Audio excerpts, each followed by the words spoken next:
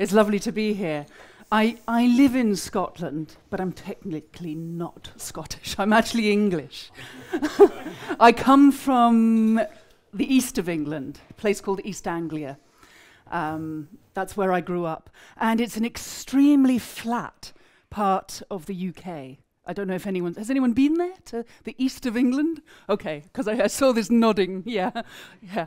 Um, for the first eight years of my life, I thought the countryside was like this. I had never seen a real hill. I thought the countryside was flat fields, usually growing uh, sugar beet, big, you know, rooted vegetables making sugar. And I thought that rivers and streams were these drainage ditches, much like you might see in the Netherlands. That's the landscape I knew. When I was eight years old, my parents took me to the north of England to uh, a place called Derbyshire. And it blew my mind. I, I never forget that moment of seeing, oh, land, land can be like this. And, oh, and it just made my heart sing. And that's partly part of the reason why I was drawn to go and live in the, in the, well, in a mountainous place in Scotland where there is rock, there is sea, and there is this heavy, weighty wilderness uh, where we've both chosen to live. My name is Sven Erik, and I grew up in Glostrup, just outside Copenhagen. My mother came from Rælingen, with Lillestrøm, and she went to Denmark to have the bite of an orange. That's very much the truth because here in Norway, you were really suffering during the war. When my mother and my father spoke about the war, she always told him, Dere hadde smør dere. End of conversation. No more talks. It was too, yeah. But what I, when I grew up, I grew up in this flat country called Denmark. I mean, the, the highest mountain is 173 meters high. It's a very flat country. And when I asked my mother, tell, tell us a story, mom. Ja, sa hun, nå skal jeg fortelle dere ei skrøne. Eh, Det var en gang ei høne som satt på fossa hjørne. Så datt han i en kum, var ikke hun dum. Nei, mamma. En riktig historie. Hun lærte aldri det danske språket. Hun gjorde aldri det. Hun visste hva det var, at det var 95, 55 Alt det visste hun. Men hun hadde denne klare tone av norsk. For hun elsket fortfarande inntil hennes dødsdag det her hjem, som hun kalte Norge. What did you just say? Sorry. I told them about my mom who loved it still, after 50 years, she still loved the, her home country. Oh, Norway. yeah, yeah. Um, so we, we've been invited to share our foreigner's perspective on Norwegian stories. Quite a challenge, actually, because, uh, oh, yeah, I'm a foreigner. I'm a foreigner here. Okay, so what is that? And I thought, okay, well, what's What's the earliest Norwegian story I ever learned? And there was a story from my childhood, which I didn't even know at the time was a Norwegian story. I just assumed it was an English story, a story that everybody knew. My mother would tell me at bedtime. Everybody knew the tale of the three billy goats gruff. Three goats which lived in a meadow. And one day, well, there was a big goat, there was a middle sized goat, and there was a baby goat and their name, as far as I know, was the three billy goats gruff. And one day they discovered they had eaten all the grass in the meadow where they lived. And the little billy goat gruff said to the middle billy goat gruff, Oh, what are we going to do? We have nothing to eat. And the middle billy goat gruff said, Yes, I don't know what we're going to do. There's nothing to eat. And the big one said, Look over the water. There is a lush green meadow. Let's go there. Oh, but under the bridge there is a troll. Yes, under the bridge there is a troll. Don't worry, said the big billy goat scruff. Let's go one by one. We know what to do when we get there. And so the little billy goat scruff said, I will go first.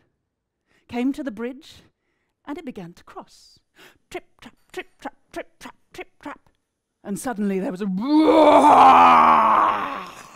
and out from under the bridge. A troll jumped onto it. And the little billy goat Scruff tried not to show it was scared. Who's that trip trapping over my bridge? It is I, it is little billy goat Scruff. Mm, well, you're not allowed to cross my bridge. But I want to go and eat the grass in the meadow over there. Mm, I will eat you first. Oh, no, you don't want to eat me. In just a moment, middle Billy Goat Scruff will be crossing the bridge, and, well, he's much bigger than me. You get more meat. Let me cross. Oh, more meat. Hmm. All right then, all right then. Trip, trap, trip, trap, trip, trap. And little Billy Goat Scruff began to eat all the delicious grass in the meadow. It was middle Billy Goat Scruff turn to cross the bridge. Trip, trap, trip, trap, trip, trap. Who's that trip trapping over my bridge? It is I, it is middle Billy Goat Scruff. Mmm, middle Billy Goat Scruff, with more meat. now I'm going to eat you. Oh, no, no, no, no. Uh, big Billy Goat Scruff is coming in just a moment uh, to cross the bridge. Uh, there's much more meat on him. Big Billy Goat Scruff, more meat. All right, then. On you go, on you go. And middle Billy Goat Scruff went to the meadow and began to munch on the grass. Then it was big Billy Goat Scruff's turn. Trip, trap, trip, trap, trip, trap. Who's that trip trapping over my bridge? It is I. It is big Billy Goat Scruff. with more meat. well, big Billy Goat Scruff, now I'm going to eat you. At the big Billy Goat Scruff simply looked at the troll, did a bit of this with its front hoof, put its head down, and charged.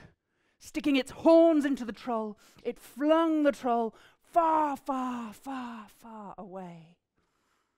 And that troll was never seen again. And the three Billy Goat Scruff lived in that lush green meadow until the rest of their days. That's the end of the story.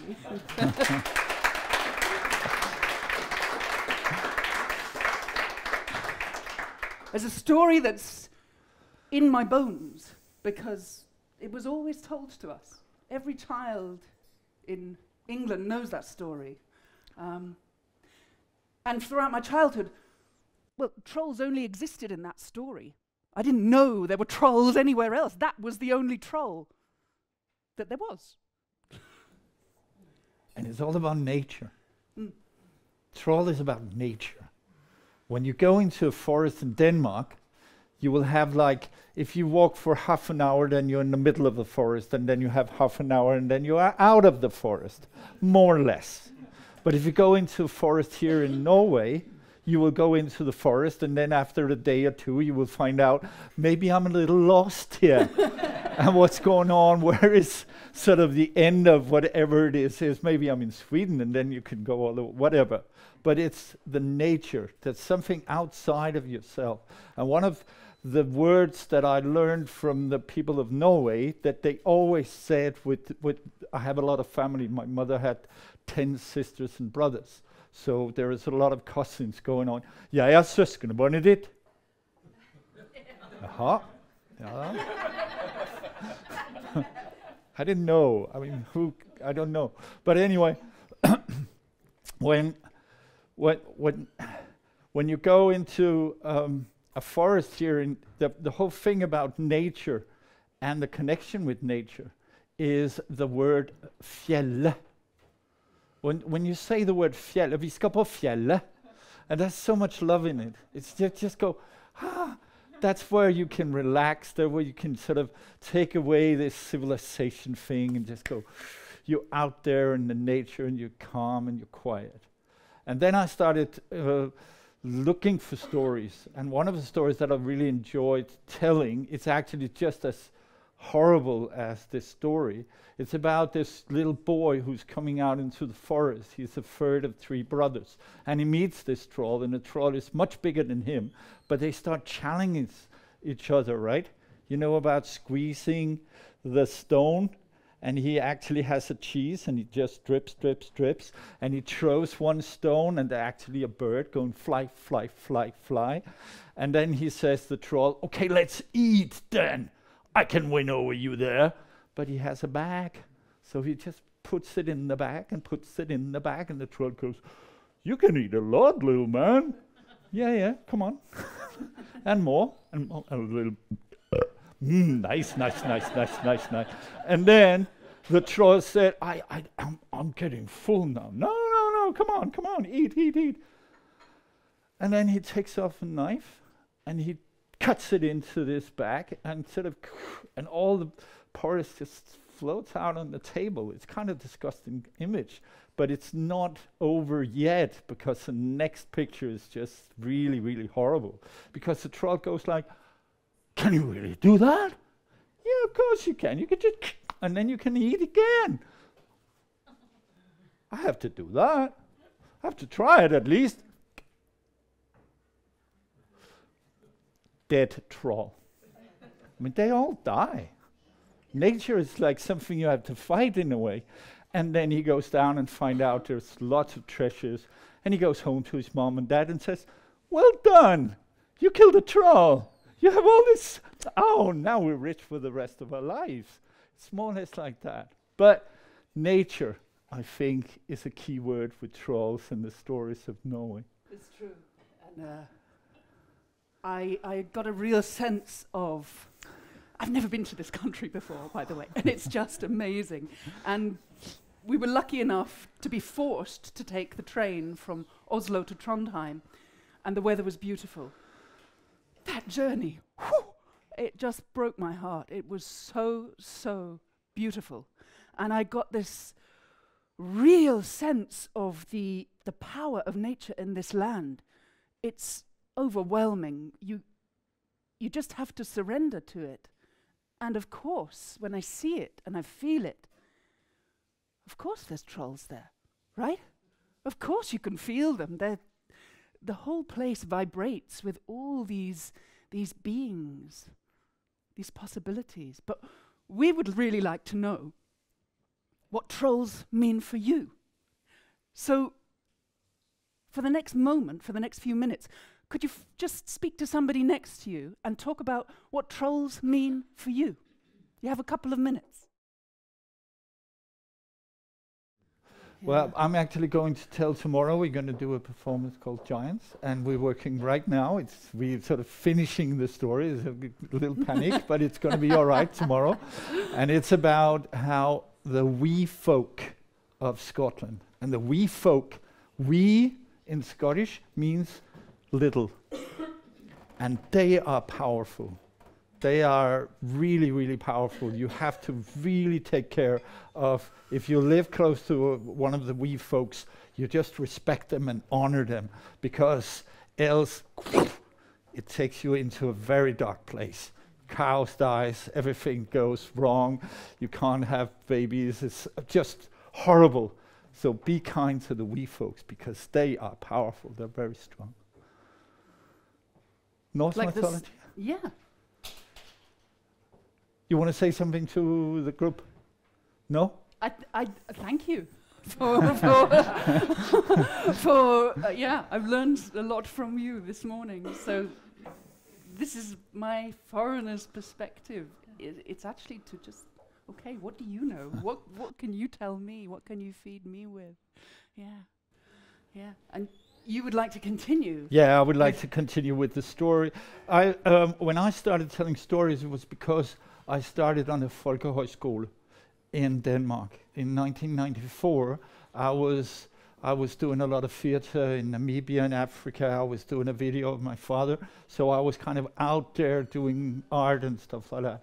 But I was engaged as a højskolelærer. Anyone has high schooler? High højskole, højskole, højskole?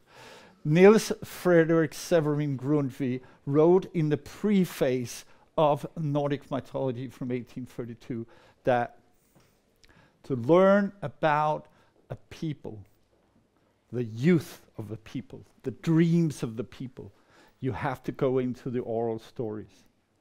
I think that's quite powerful. You can go into the written, that's sort of very mature, very sort of like me, old man, very, I know a lot, but I don't have the power of the youth, right? Ask how, anyone who's young, they have this dream. It's going to be. I can look back on my life. They are going to do something. And if you want to know about the future, the dreams of the future, the dreams of the youth, you have to go into the oral storytelling. That's why he looked into the Norse myths and said that you can actually caught a glimpse of the Nordic people when they were young and had these big grand visions. And he created a school on freedom for Loki as well as for Thor. So Loki, as we know, as a trickster, you have to respect him as you respect Thor, who's a fighter. Who's a but there's one thing, as we learned during this winter, we had um, a series of conversations about the Nordic mythology with a group of people. It was actually during, yeah, it was, doesn't matter. For the last year, we've been having these discussions. And there were quite a lot of young women there. And they said, it's quite a nice vision, but there's one very clear thing that's missing. Thor, Loki, Loki, Thor, they're all men, right? And it's Odin and it's Loki and it's blah, blah, blah. Where are Idun and Freya in that picture? So now it's maybe time to make another school, to make another foundation built on some of the Vaners and some of the Valkyries. Know what, what they called? The Völva. Maybe it's time. We're still working on that sentence that sort of include all these Vaners and everything. But when I came to Scotland, and one of the reasons I came to Scotland was because my life was really in a deep hole. I have a turning point there. I went to Scotland. I, I went into the storytelling centre in Edinburgh. I met this wonderful woman. I was scared of heights. We went onto the plateau in front of the castle. And I said, I don't want to go there. And Alice just said, Hold my hand. right. And I went down into this beautiful Princes Street garden and everything. So I started telling some of these stories, Nordic myths, and I discovered that Thor, they called him Thor, you know, with a Thor. And I was going like, why? Why? Why do you need that sound? why? Why can't you just call him Tor? I mean, come on, what's that for? But anyway, they love these stories. They have them right into their bones. It's just like the the uh, the, the three billy goats, gruff. Yeah. It's just it's it's kind of in their bones now. So when I started telling, once upon a time there was a god called Tor, they go like, yeah, got that hammer, ah, right? But I, then I say, it's not, the handle is not that big. It's kind of part of the whole story, is that the dwarves was pricking on, so they made the handle like this. That's kind of okay that you say Thor, but I say Thor. Is that all right for you? Yeah, and then they go. And he was out fishing, you know, with a giant. He was out fishing. And he had a big bull's head and a big hook into that head. And he wanted to fish something very big. The giant fished a whale and another whale and a seal and a and Thor said, No, no, it's not good enough. We need something bigger. And the, and the giant said, Now we, we're far enough, far away from the shore. No, no, we have to go into the middle of the ocean.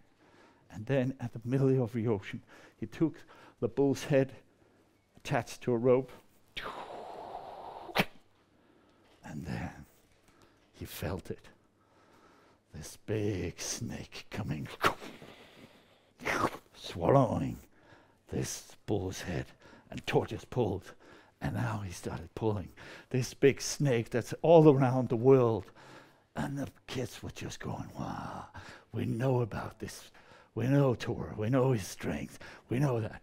But what they didn't know was that the giants was really scared. He has pissed on him like he's scared. he was so scared. And he had a knife, so he cut the rope.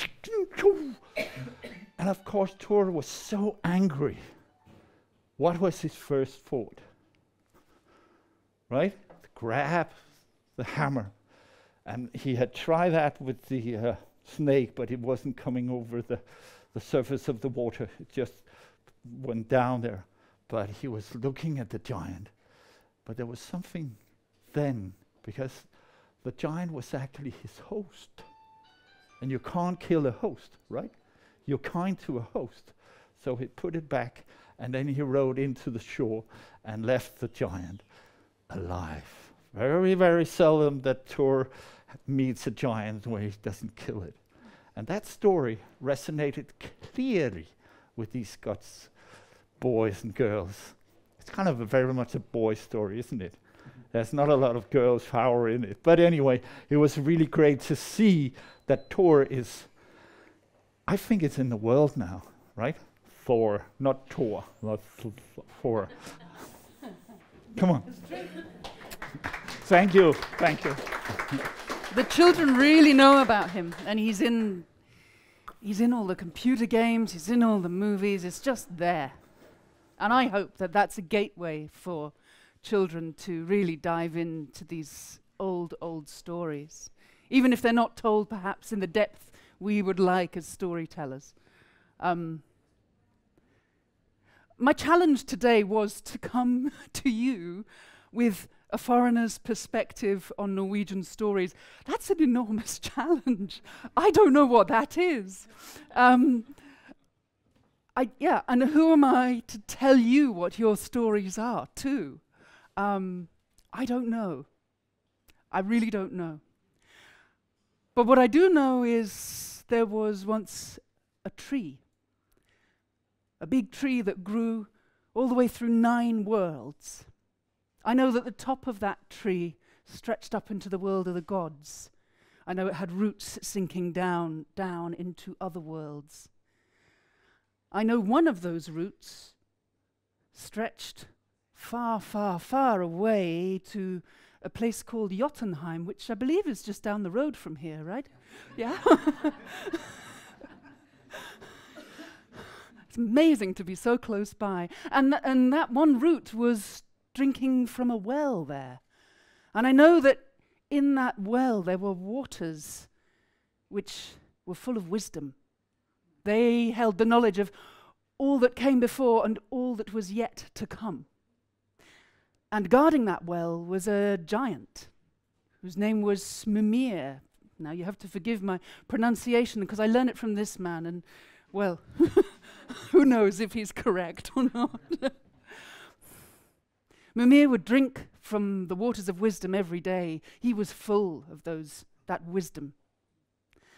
Perhaps information about this just traveled up this route, all the way up the trunk of that tree, up into the world of the gods, and perhaps it was the leaves in the canopy of that tree that whispered, whispered to Odin, There's this well, it's full of knowledge full of knowledge of all that came before and all that's yet to come. And Odin was like, oh, oh I want some of that for myself. He'd, he'd already hung for nine days and nine nights in the branches of the tree to get the wisdom of the runes, these strange markings in stones. Ah, he'd learnt that magic, but if he could have the knowledge of all that had come before and all that was yet to come, that was something for him.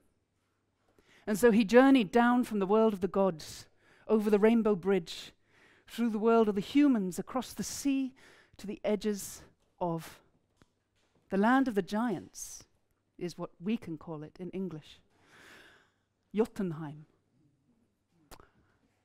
Harsh place, a cruel place, dusty, sandy, weather that was either too hot or too cold winds that picked up that would blast the sand in his face like swarms of biting insects. He pushed through those harsh, harsh climbs. On and on he went, motivated by the only thought that he would have this knowledge. He journeyed over mountains, over rocks. Everything he put his hand on seemed to hurt. The rocks were harsh, they were cold. Every place he stepped his foot, it was as though it cut into his feet. But still he went on. Up, down, up, down, over, under, through, until finally he saw it. There below him, just a stone's throw away, there was the giant Mimir, actually his uncle. yeah, yes, his mother's brother. and he began to approach. Mimir just looked up. He knew his nephew was coming. All he had to say was, There is a price if you want to drink these waters.